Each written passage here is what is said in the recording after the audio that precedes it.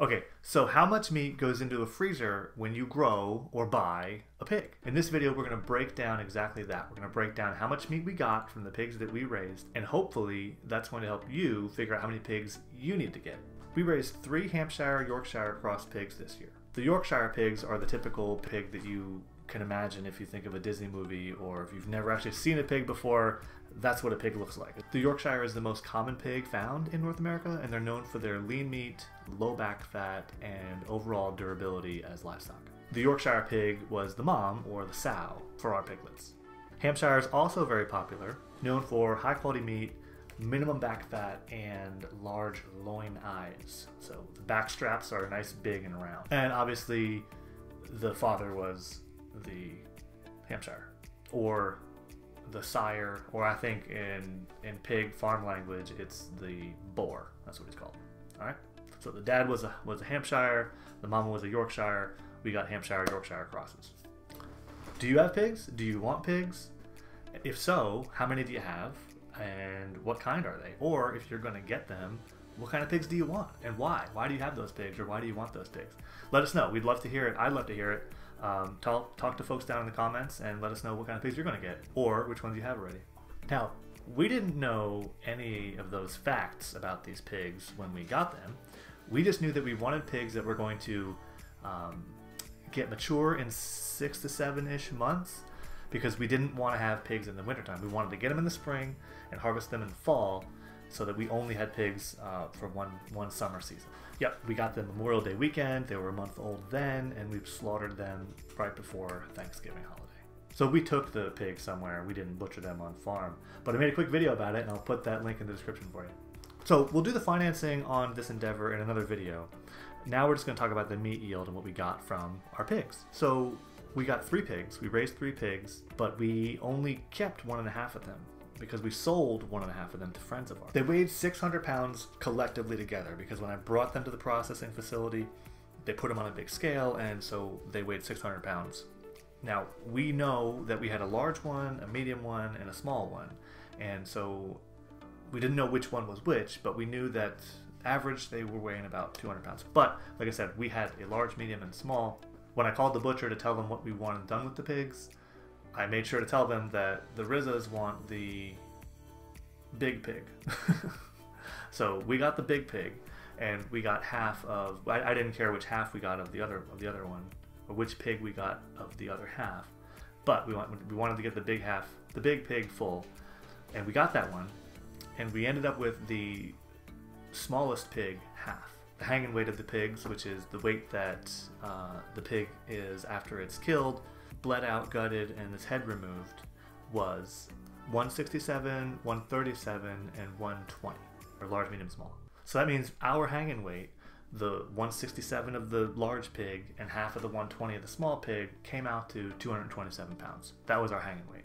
Now, that's not what we ended up with in our freezer, right? So a, a pig has two hams in the back, the front legs are called the pork butt, and that's where the roasts are. The roasts come from. Where people make pulled pork, they make them from the pork butt, which is the front of the pig. In the pork butt, you've usually got two to three cuts, two to three roasts on each side. Pigs have ribs, and of course, they've got the bellies, which is where the delicious bacon comes from. And then after that, the only other thing that's left, typically from a butcher when someone brings their pig in, is the loins, which is where your pork chops come from. They run down along the back of the pig, one on each side, and they're either sliced up as chops with or without the bone, or they're cut into large roasts. Usually two to three roasts per backstrap, depending how big they are. Okay, so here's our breakdown. We ended up with 15 pounds of bacon, and it is delicious. I, I am happy with that. Three hams, obviously, right? A pig and a half. And they are about 10 pounds, 10 to 15 pounds a piece. So we got 35 ish pounds of ham. We got these fillets. I don't know what the fillets are. So if anybody knows what the fillet is, please let us know. We've got um, just two packages of filet. I don't know what that is. It's not the pork. Maybe it's from the pork loin. I'm not sure. We got 10 pounds of ribs. We got hog maw, which I'm also not exactly sure what that is. I think it's the belly because there's three small packages, and that's what I think it is. I think it's their stomachs, and I think we can put food in it and make a dish called a hog maw with you know sausage and potatoes and carrots or whatever. I'm not really sure exactly. So if anybody knows what the hog maw is, please let us know sausage. We got lots of sausage. We got um, 27 pounds of grillers, which are links, and 30 pounds of loose. Now, the pork loins. We got three loins, right? So we got uh, two of them in chops. So we got 10 pounds of chops. And then we got, I think, five pounds, six pounds, six pounds of roasts. And then the pork butt, we had three shoulders, right? So pork butt, we got 20 pounds of them. That came into five different roasts. All right, so that means we got a total of 159 pounds in our freezer of meat, which is awesome. And that came from 227 pounds of hanging weight and roughly about 300 pounds of a live weight. So 159 pounds of meat out of 227 pounds of hanging weight is about a 70% yield, which isn't bad, I think. Now we probably would get more if we butchered on our homestead here, uh, but again, that's just a whole day's worth of work, so you have to weigh it out, right? So we take it to the butcher, and then we don't have to sit at home and chop up pigs all day. But in all honesty, if it was my own pig and I'm sitting in my backyard, I'm gonna make sure I get all the meat off the bones. Whereas if I was a butcher in a butcher shop, knowing that I got to get through 20 pigs before I go home, I might not be as meticulous. Do any of you butcher your own hogs on, on farm? If you do, let us know because that'd be really interesting to hear. Uh, we might do it next year. We've you know we've talked about doing it this year, but my wife and I weren't ready for that. We did do chickens, and we'll talk about that soon too. But um, we didn't do a pig this year, and we might do it next year. We shall see. But if you did, if you did butcher a pig, or you're going to butcher a pig, let us know down below. Okay, so you can really start getting some dividends when you decide to leave the butcher shop behind and do it at home. So let's talk about some of that. So I, I, mentioned before you can get more yield out of your out of your animal, right? Because you might spend more time cutting off all the meat than the butcher would. Obviously, that makes sense. But you also might get more um, product because the butcher might just get rid of something and then that you would want to keep right? So we typically, no one typically gets lungs, for example, from back from the butcher. But I got chickens that would have loved to eat those lungs. But if we and if we killed them in our backyard, we'd be able to hand them right to them.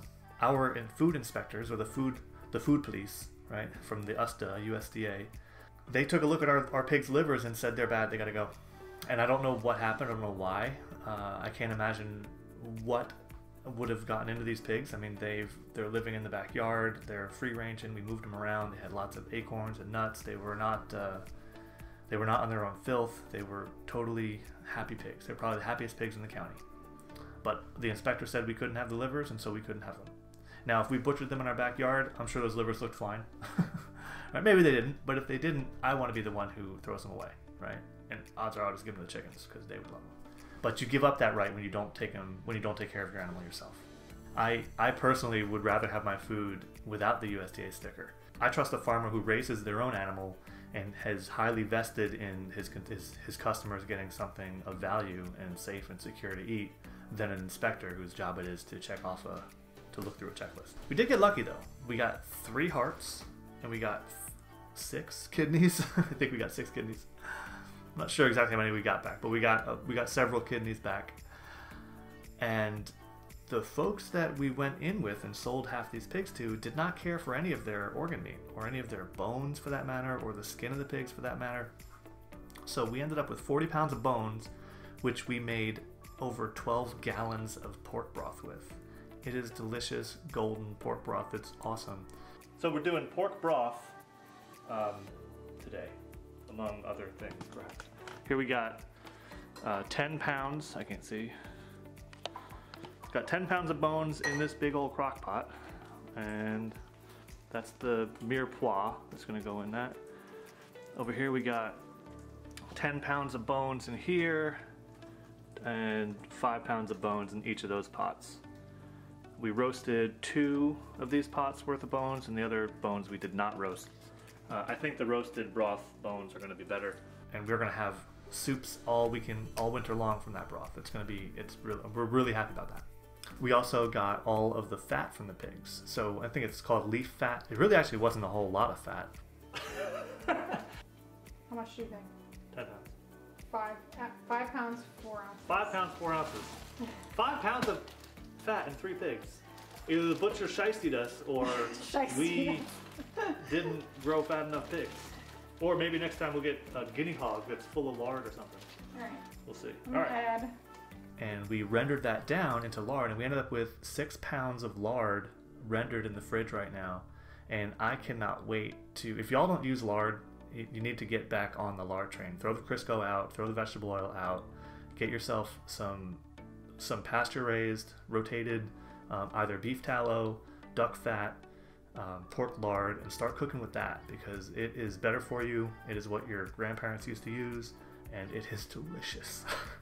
so I cannot wait to take our pasture raised chickens and make some buttermilk fried chicken with the raw milk we get from Pennsylvania and then deep fry them suckers in this homegrown lard that we grew on the homestead here. It's gonna taste so good. So thanks for watching the video. If you found this informative at all, uh, please, please give us a like and make leave us a comment, subscribe to the channel, all that jazz. You know, if you know someone that might be wanting to raise pigs, please you know share this video with them. Any or all those things would be greatly appreciated. And you know, leave us a note in the comments. What other kind of videos are you interested in learning about? What um, other topics do you want to, do you want discussed? Let us know in the comments. Leave a question, and we will hook you up. So until next time, take care and keep it easy. Oh, and check out this Pigs for Everyone. Pigs for Everyone. Go ahead and I'll leave a link below. Go and buy this shirt because we want to see Rebecca Rhodes milking a cow in the cold, cold January day. Bye.